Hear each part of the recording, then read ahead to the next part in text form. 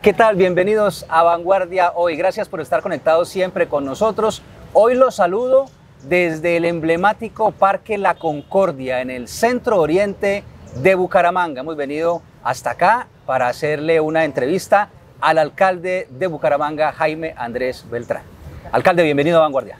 Javier, un saludo para ti, para todos los bumangueses. Qué bueno que el estudio de Vanguardia hoy se haya ido a los parques porque de eso se trata, de, poder conversar con los ciudadanos, de entender la ciudad desde el territorio y aquí estamos disfrutando de uno de los parques emblemáticos, como lo dijo, y uno de los barrios más importantes. Diría yo que este es el corazón de la ciudad, es el que une el, norte con el sur y se desarrollan muchas actividades en esta zona. Sí, un parque recién remodelado, un parque que visitan mucho los, los bumangueses en las mañanas, eh, los niños, aquí hay juegos infantiles, está la Policía Nacional y comencemos por ahí por la recuperación de los parques, una de sus primeras decisiones fue el decreto para controlar el consumo y porte de sustancias psicoactivas en los espacios públicos.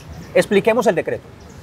Desde el día 1 eh, le dimos eh, desarrollo a la operación Candado. La operación Candado son acciones de 100 días en temas de seguridad, no solamente seguridad física, sino también seguridad alimentaria, seguridad social. Y dentro de las primeras acciones era el decreto. El decreto establece un perímetro, ¿y qué es el perímetro? Que a, menos de 70 metros del parque nadie puede estar consumiendo ni droga, no puede estar consumiendo ni alcohol, y mucho menos comercializando o distribuyendo. ¿Qué quiere decir? Ninguna de las casas aledañas a un parque, a un colegio, a un escenario deportivo se puede prestar para el tema de la venta y comercialización de drogas. Esto nos ha permitido a hoy tener más de 296 personas sancionadas y lo más importante, que la operación Candado en sus diferentes actividades, como es el cierre de la ciudad o el control de la ciudad en las entradas y salidas, el manejo de los operativos, nos han dejado 189 capturas y algo importante, hemos recuperado más de 12 motocicletas. Acciones que hoy le devuelven un poco la esperanza a los bumangueses de que los parques ya no son zonas de consumo, sino vuelven a ser espacios para la familia. Pero detrás de esto tiene que haber algo particular, Javier, y es que de nada vale sacar al consumidor o al jíbaro si las familias no vuelven, porque un espacio vacío lo va a ocupar alguien. Y ahí es donde tenemos que ocuparlos con la oferta institucional. Entonces, desde el día que lanzamos el decreto, la policía, el ejército, la fiscalía eh, eh, la institucionalidad de la alcaldía de Bucaramanga se ha dedicado a hacer actividades para poder ocupar. Parques ocupados por la familia no le entra el microtráfico. Bueno, ¿y eso cómo se operativiza? La policía está permanentemente haciendo controles, ¿eso cómo funciona? Hay dos estrategias claves que están hoy en funcionamiento. Uno, de los 232 parques nos hemos distribuido por zonas. ¿Cuáles los toman el ejército? ¿Cuáles los toma la policía? Cuáles los toma la alcaldía. Todo esto buscando primero de febrero. ¿Qué pasa el primero de febrero? Empieza el plan piloto del, proyecto Guardaparques. Ah, Guardaparques es una estrategia articulada entre la empresa privada, la comunidad, la policía y la alcaldía. ¿Cómo funciona? La alcaldía pone un guardaparques que lo limpia, lo arregla y lo cuida. La comunidad es doliente de estar velando porque nadie haga nada en el parque que atente contra el parque. La policía es la que debe garantizar el orden. La empresa privada es la que invierte en mobiliario. Entonces el plan piloto lo vamos a hacer en el Parque de los Niños, lo vamos a hacer con la empresa Huevos Quiques. Ellos ya se comprometieron con eh, invertir en la transformación del parque. La policía a través del CAI establece ya un doliente, nosotros ponemos el guardaparques y la comunidad establece toda una acción. Esa acción nos va a permitir dejar la operativización o la operatividad a partir de ahora de la transformación de los parques, porque el decreto sin acciones eh, es muerto. Alcalde, el primer decreto fue el controlar el consumo y el porte en los parques, pero el consumo de sustancias psicoactivas es un problema de salud pública. Hay personas que lo hacen porque están enfermas. ¿Qué hay planes para, para esas personas? ¿Cómo se va a manejar el tema desde la alcaldía? Mira, eh, nosotros cumpliendo eh, lo que establece eh, el Consejo de Estado a través del decreto, establece, prima el derecho de los niños. Sí. Ok, entonces trabajemos primero por devolverle los parques a los niños. Pero en una segunda instancia dice, busquen un espacio para que el consumidor lo pueda hacer de manera tranquila. Estamos pidiéndole al Ministerio de Salud que nos dé eh, los parámetros y la reglamentación de este espacio. Porque naturalmente, como es un problema de salud pública, debe tener una reglamentación. Yo como alcalde no puedo decir, bueno, a partir de ahora este parque es para fumadores.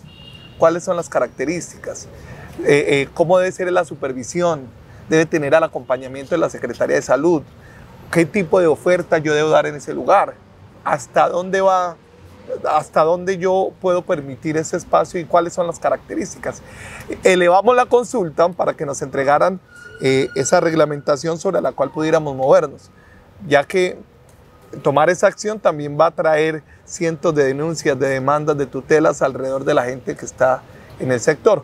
Por lo tanto, creemos que hoy hemos avanzado en devolverle a los niños los parques, garantizándoles el derecho a ellos y vamos avanzando en lo que establece el decreto 134 del 2023. Bueno, estamos hablando de seguridad, usted ha mencionado varias veces el plan candado y en las últimas horas hubo un resultado supremamente importante, contundente, y fue la captura en México, en otro país, pero de una investigación que comenzó en Bucaramanga de un um, reconocido criminal, alias Poporro. ¿Qué nos puede contar de, de esa acción policial, de, esa, de esa primera, ese primer resultado de su gobierno y de lo que significa para la ciudad? Mira, los bumangueses no dimensionan eh, lo que significa esa captura. Pero para ilustrarlos un poco, Bucaramanga a nivel delincuencial se divide en dos grandes estructuras, la del Pichi y la de Poporro. Una corresponde desde el norte de Bucaramanga y la otra corresponde al sur, así son denominadas. Las, los dos últimos años hemos visto eh, casos de sicariatos muy violentos. Mm. Y cuando usted vaya a analizar quién fue el que mataron, hace parte de una o de la otra estructura. ¿Qué quiere decir?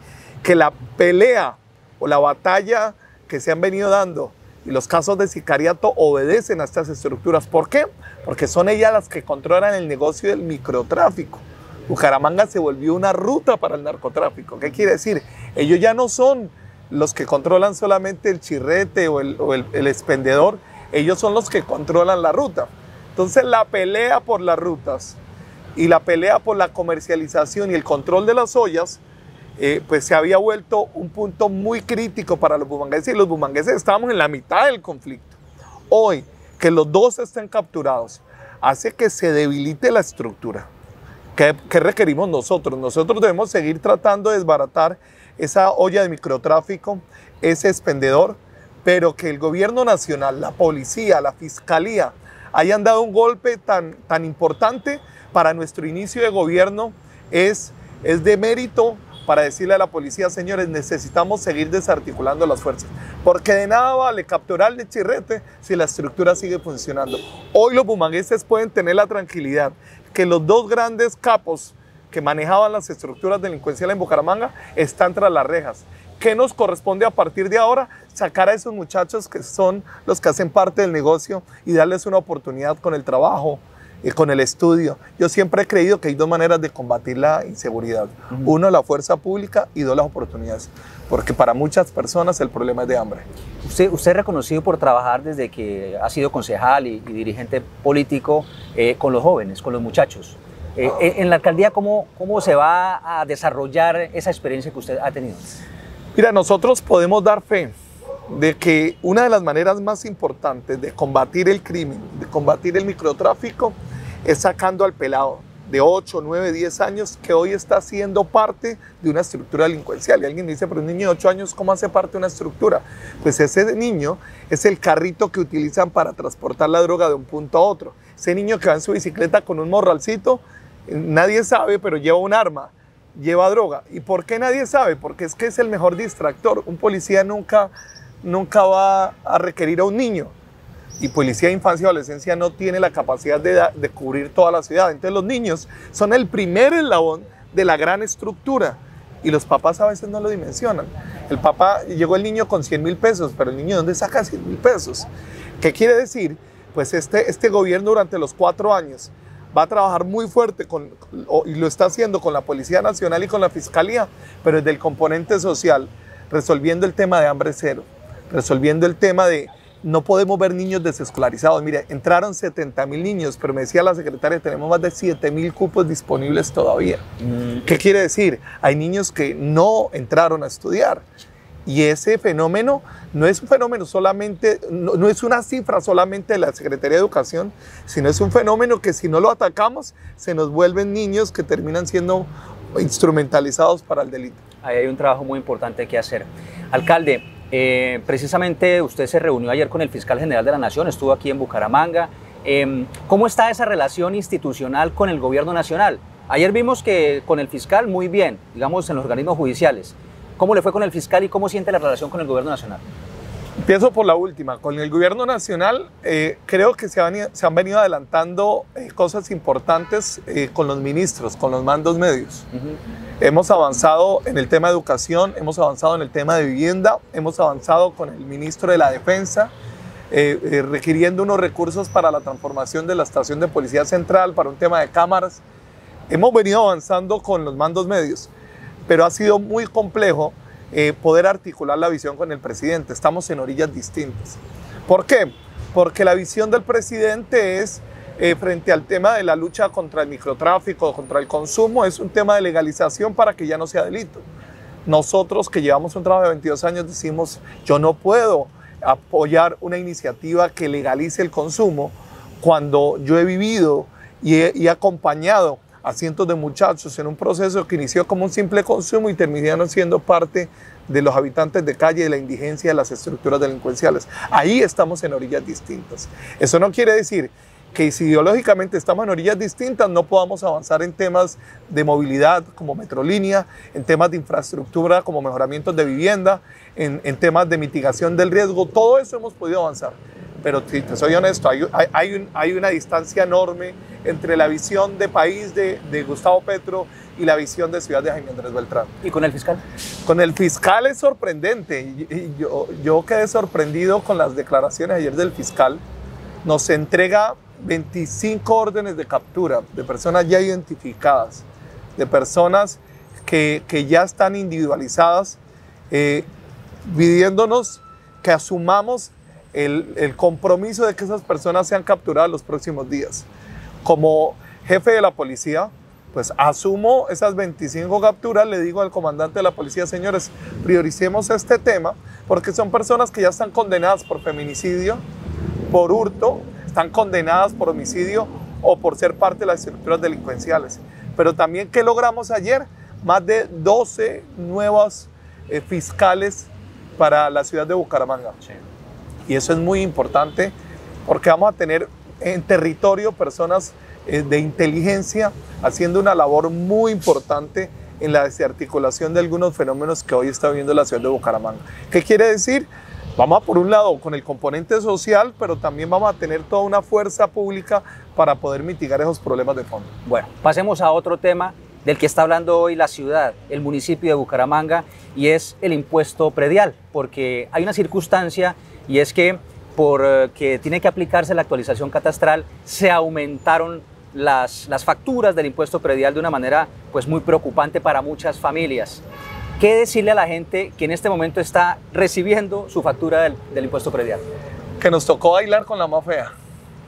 Eh, yo llego eh, y asumo el control de la ciudad, la gobernabilidad y me encuentro que el Consejo de Estado deja en firme la actualización catastral que estaba suspendida desde el 2019.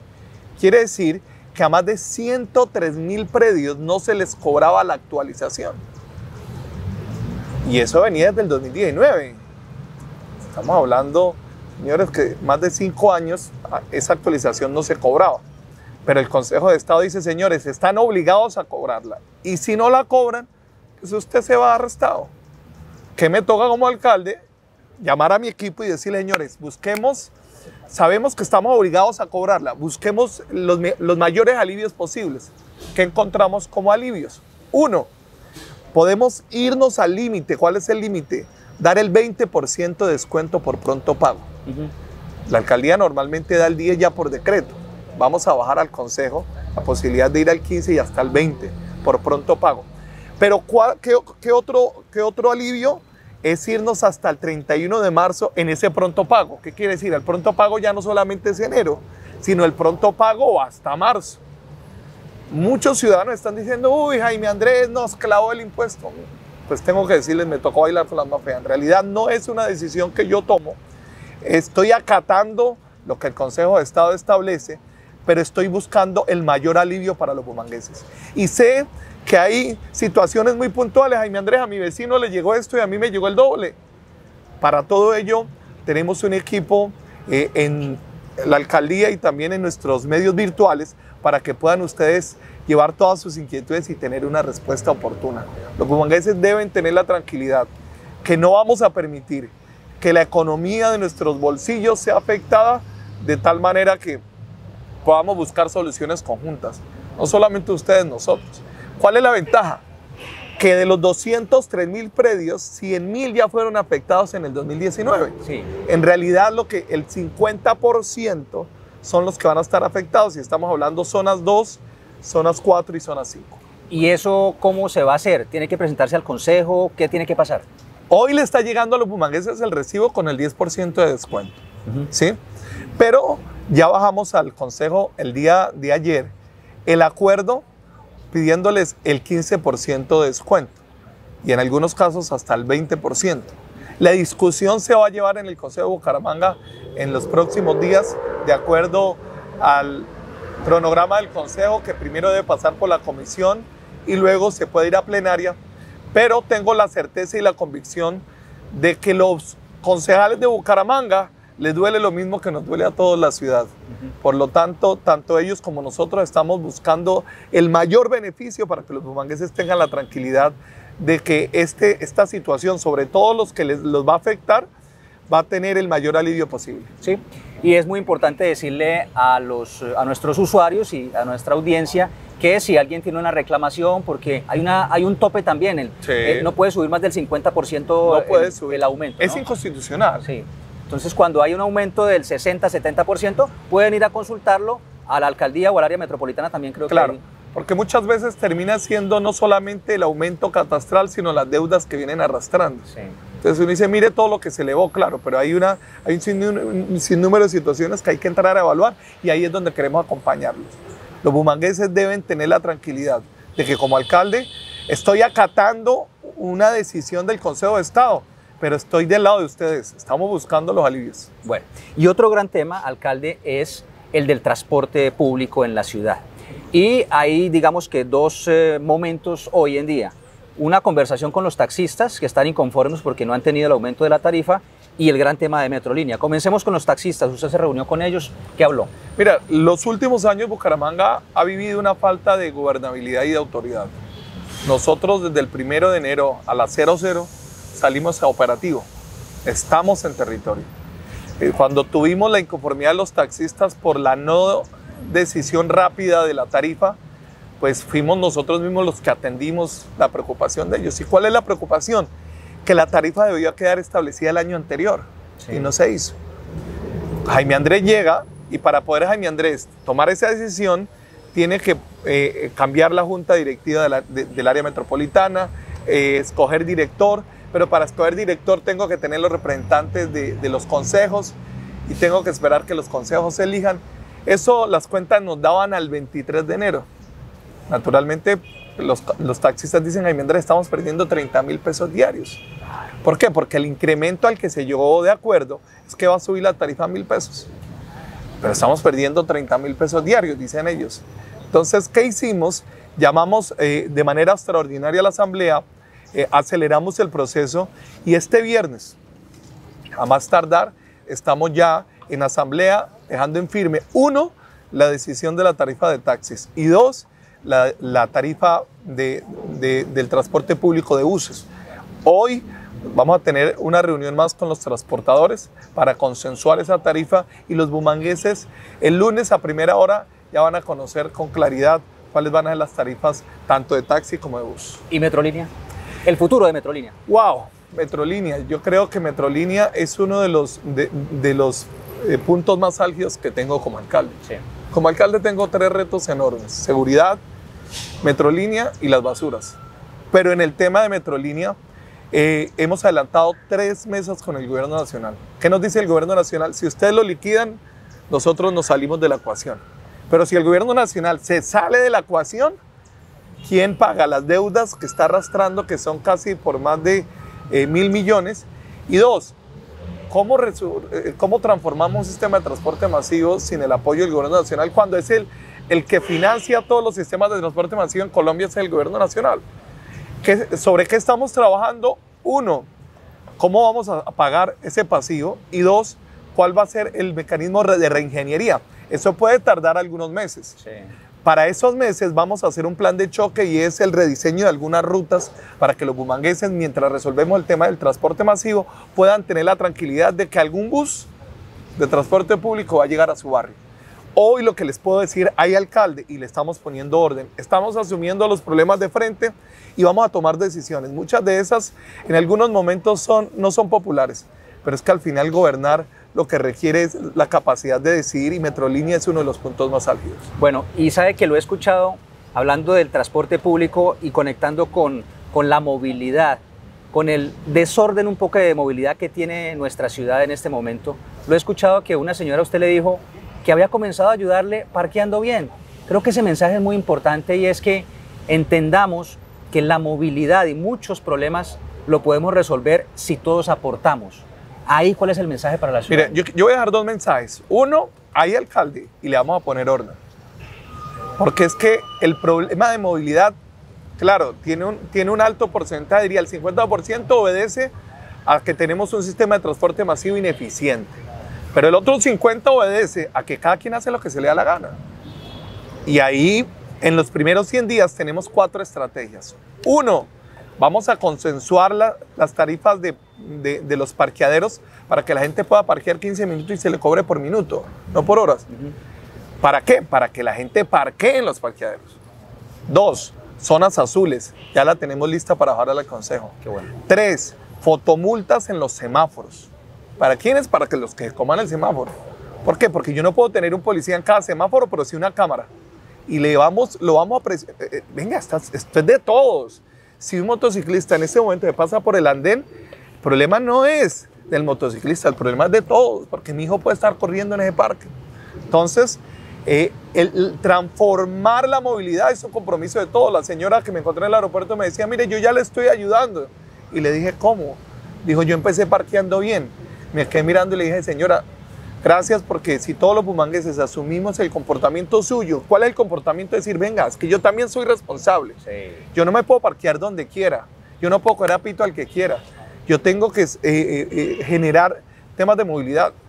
Ayer llamé al director de tránsito, iba por toda la 15 y me encontré siete furgones a las 3 de la tarde descargando en la 15. Siete furgones. Entonces llamo al director de tránsito y le digo, señor director, mándeme unas patrullas que me levanten todo eso. Por dos cosas, porque ese no es horario de descarga y dos, porque tienen un problema de, movilidad enorme en la primera arteria de la ciudad. ¿Qué quiere decir? Esto es compromiso del empresario, esto es compromiso del director de tránsito, pero también del que va en su taxi. Esto es compromiso del alcalde, pero también es compromiso de cada uno de nosotros. La ciudad no va a cambiar simplemente porque le pongamos más pie de fuerza. El pie de fuerza es una cosa, pero la cultura y el compromiso y el sentido de pertenencia por Bucaramanga es de todo. Yo siempre he dicho que si a Bucaramanga le va bien, Javier, a todos nos va a ir bien. Alcalde, pues muchas gracias por atender esta invitación aquí en este parque, el Parque La Concordia. Hemos hablado de los temas de coyuntura. Esto va a ser una conversación permanente. Vanguardia siempre va a estar pendiente de lo que pasa en la alcaldía, de lo que dicen los ciudadanos. Em, y queríamos tener esas primeras impresiones de estos 15 días de gobierno. ¿Cómo se ha sentido? Bueno, e, es un reto enorme. Eh, eh, ha, sido, un reto enorme porque es muy satisfactorio salir a la calle y sentir a la gente comprometida. Hay esperanza. Y esa palabra es muy bonita pero peligrosa. ¿Sí? La esperanza no puede estar puesta en Jaime Andrés solamente, la esperanza debe estar puesta en todos. Si nos unimos, esta vaina avanza. Pero también un reto enorme porque vamos a tener que tomar decisiones difíciles. Y yo en esas decisiones difíciles espero que los bumangueses me, entiendan y me acompañen. Porque muchas de esas decisiones nos obligan a tener orden. Muchas de esas decisiones nos obligan a ponerle ruta a muchas cosas y a veces esa ruta no nos gusta tanto. Pero al final, ¿trabajamos por el bien común o seguimos haciendo cada uno lo que quiere? Muy bien. Alcalde, muchas gracias. Javier, a usted, a todos eh, las personas que nos están viendo en Vanguardia. La invitación, preguntas, dudas que tengan, están en nuestras redes sociales de la Alcaldía de Bucaramanga. Soy Jaime Andrés, prestas para responderles. Y a ustedes muchas gracias por permanecer siempre conectados con nosotros. ¿Qué opinan de los temas de los que hablamos hoy? De la seguridad, del impuesto predial, del transporte público, los leemos en los comentarios. Nos vemos pronto en otra emisión de Vanguardia Hoy. Chao.